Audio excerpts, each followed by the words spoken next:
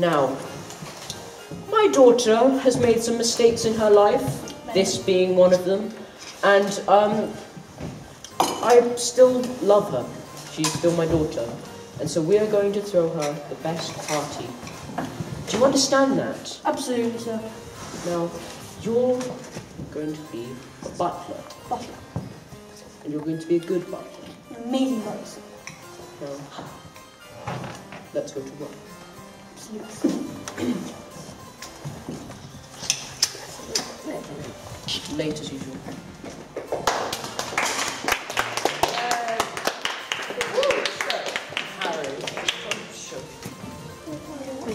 So much better.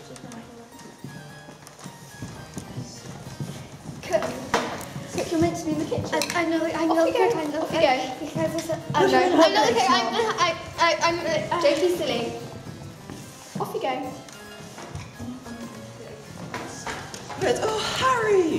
Dear nephew, Harry, it's so good to see you. It's been so long. Uncle Theodore. Yes. Brother Victor. Good to see you. Hello. hello. Hello. How are you? Uh, good, thank you. Bless you. Oh, sorry, I don't believe in things like that. Right. Hello. Do I, do I know you? The last time you saw me, you left me to the Germans. Right. Okay. Thank you, Butler. Now, everyone! I heard Harry is something of a magician on the keys, and uh, he is excellent at the piano. I think he would get out, Victor. Now, will you regale us with some beautiful music? Kenny! What's that? Alright. Do you have to do that in here? I, I was just sweeping or... This is my daughter's engagement party. Right Do you understand that? Yes, alright. Now, can you leave? Alright, bye then. Please begin.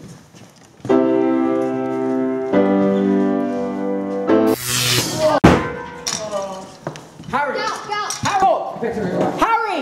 He's dead! Harry's Face. Harry's dead. Oh, oh, yeah. Oh, yeah, I'm alive. Oh, no. Victor, are you okay? Yeah, I'm okay. Ladies and gentlemen, may I introduce Inspector Spencer.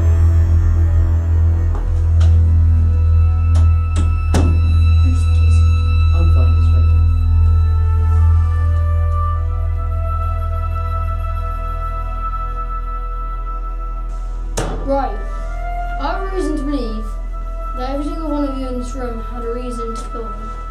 And one of you did. I've also found out found a series of objects which could have been used as the murder weapon. And I'm not leaving this place until I find out who it is. Uh, it definitely wasn't me. It's your stick on the table, Uncle. No, I'm just a feeble old man. It was him. Look what the war did to him. The bombs and the tanks and the planes. And it was Harry who left him to nearly get killed by the Germans. He brought revenge. It couldn't have been me, it was him. But I was knocked out. That's ridiculous. It was clearly her. It wasn't me, it was him. You! May I intervene? I have reasons to believe that Lord Alfred is the man we are looking for. What? What grounds do you have to back this outrageous claim up? Well, in a recent conversation we had, sir, you said this.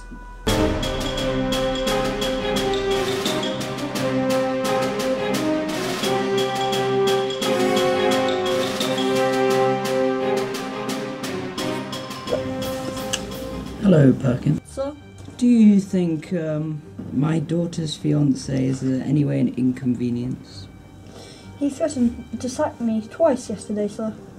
How interesting. I mean, if he came to some unfortunate accident, why? What would we have to gain? What would we have, given we have so much to lose? Well, that's very interesting, isn't it, Butler? Yes, sir. We might discuss this later, along with some other business opportunities you may have. She, she was the one being all shifty. She lied to all of us. When? Just there at the party, you were saying you were some duchess or something. Should have been in the kitchens the whole time. It wasn't me. It was Kenneth. He's not even here. Who's Kenneth?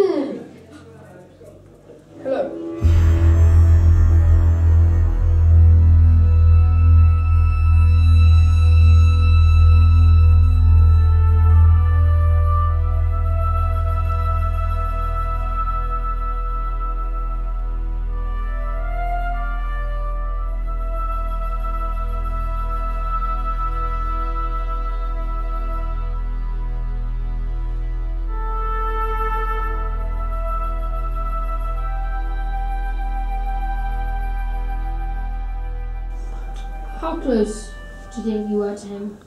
I was a few steps away. And how, why are you at the party? How do you know him?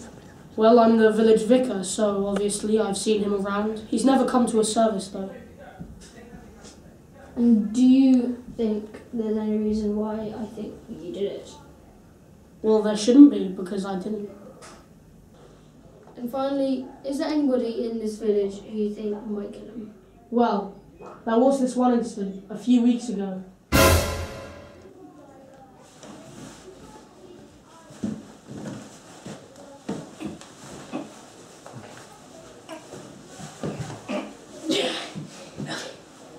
Will you marry me?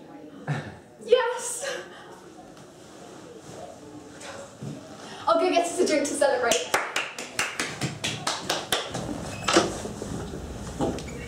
Well, hello there. Oh, it's been a while. It has. What you found? Thank you. Ah, I heard you're getting married. God bless your happy marriage. Go away. Just leave it.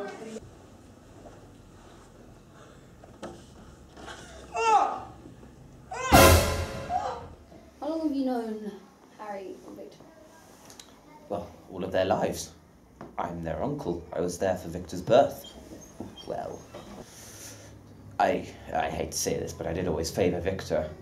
I was planning to give my inheritance to him. Seems now that that's the only option. Okay. is this? Nearly as bad as when I was when Livingston got attacked by a rhino after he caught malaria in, in the Amazon jungle. Was- oh yes, sorry. Oh oh yes, sorry, sorry about that. Yeah, I trailed off.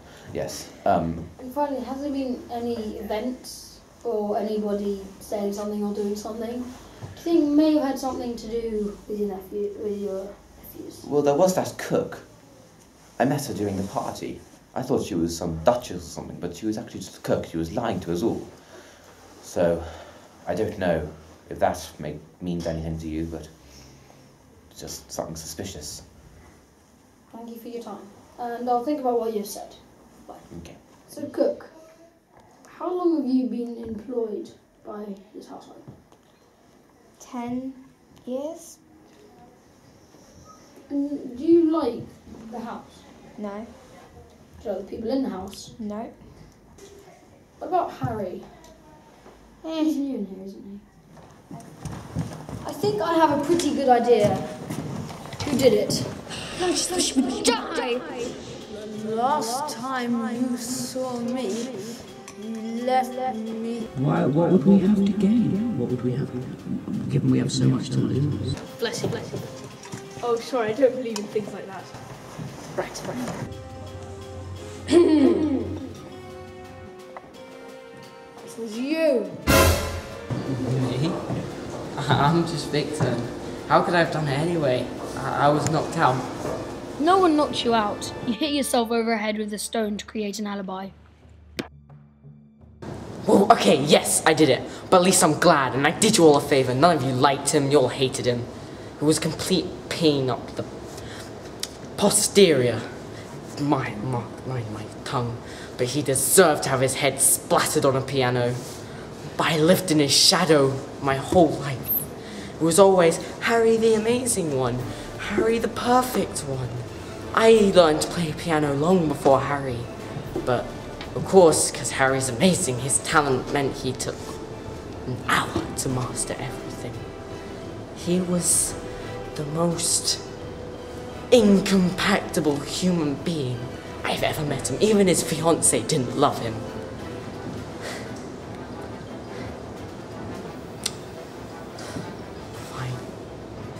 I accept defeat.